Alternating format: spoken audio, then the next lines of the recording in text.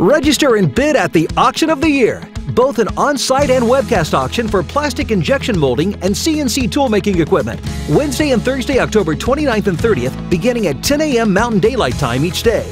Bid on location or online during the webcast. Real estate is available for sale or lease in El Paso, Texas, and Juarez, Mexico. State-of-the-art equipment from a formerly owned Hoover subsidiary. A complete injection molding facility covering 425,000 square feet. 150 Van Dorn injection molders. Over 125 granulators. CNC tool and die shop. Tractors, trailers, and trucks. Cranes, generators, and even more inventory from this huge facility. On location or online, register and place your bid. If you have a plastic molding plant, you won't want to miss this event. Visit biditup.com for complete registration information.